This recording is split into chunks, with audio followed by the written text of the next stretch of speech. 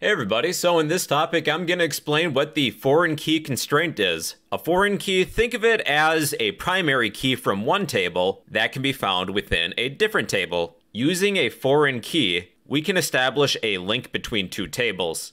There's two primary benefits to this. In my transactions table, if I were to take a look at the customer ID of who initiated this transaction, I could refer to the customers table, then find the first and last name of that customer. We can do that when we reach the topic of joins, but in this video, we're going to focus more or less on just creating foreign keys. Another benefit, when you create a foreign key constraint, that would create a link between two tables, which prevents any actions that would destroy that link between them.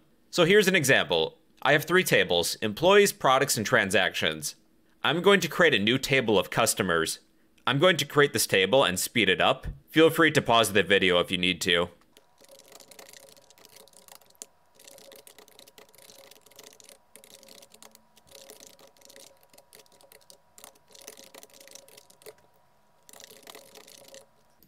Here's my table. We have a customer ID, which is the primary key, a first name, and a last name. Let's populate our customers table.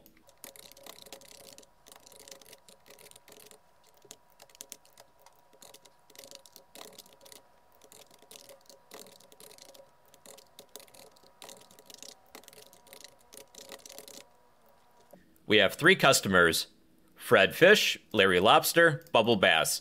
Each has a unique customer ID. We're going to create a link between our customers table and our transactions table via our customer ID. I'm going to drop our table transactions. Drop table transactions. We will recreate this table, but apply that foreign key constraint. So again, I'll speed up the footage.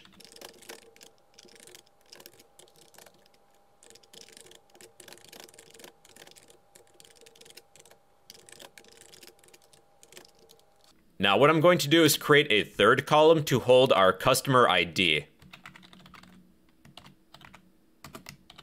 And the data type is int. I would like to add a foreign key constraint to our customer ID column. On the next line, I will type foreign key, list the column we're applying this foreign key constraint to within parentheses, customer ID. References our second table, the customers table. Customers, then the column of the primary key, which was customer ID. And that's all you need to do. Then I will select all from my table transactions. Here is our table. We have a transaction ID. This is the primary key. The amount of the transaction then the customer ID of who initiated that transaction. Our customer ID column is the foreign key. It points to the customer's table. Based on what the customer ID is, we can find the first and last name of that customer. To find any active foreign keys, go to your table, in this case transactions.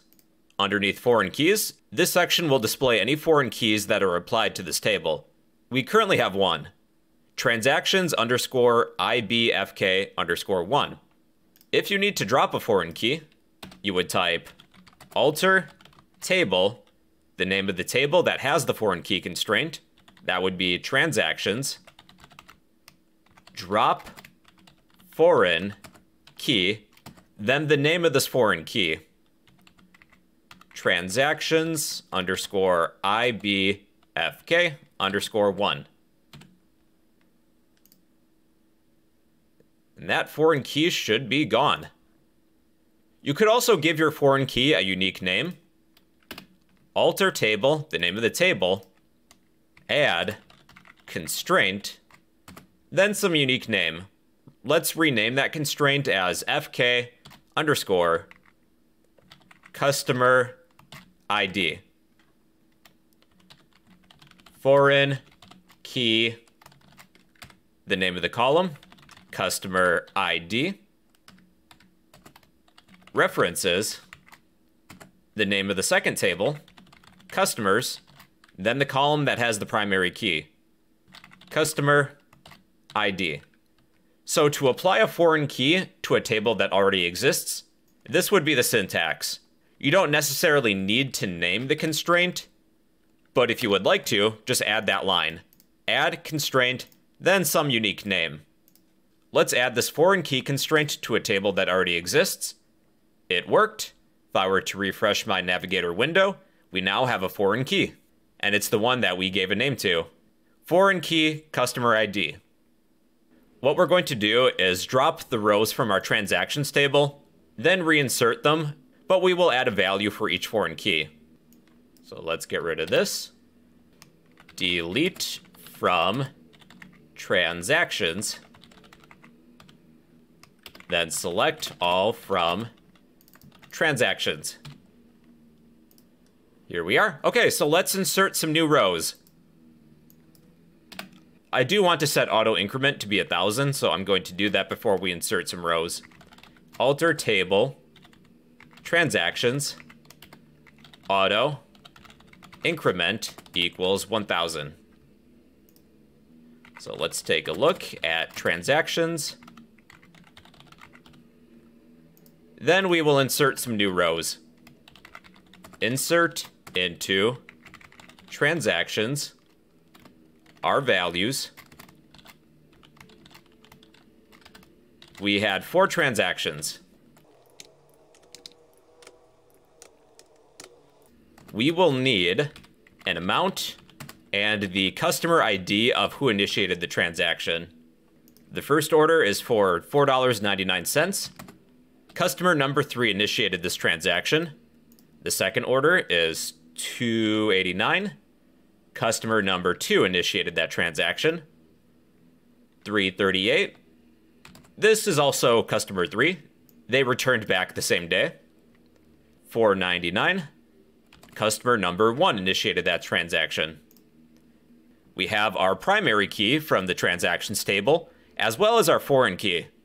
Each of these customer IDs references the customer ID column from the customers table.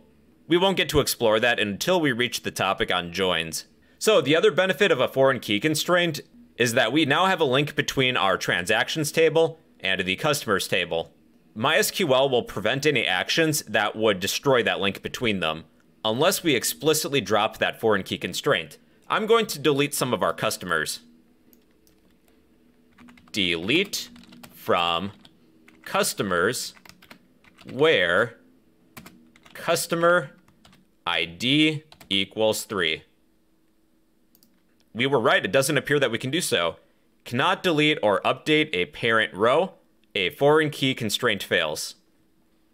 So yeah, that's the foreign key constraint. It's a primary key from one table that's found also within a different table. But when we're working with that different table, we would refer to that key as a foreign key. We'll have more practice with this when we reach the topic on joins. But yeah, that is the foreign key constraint in MySQL.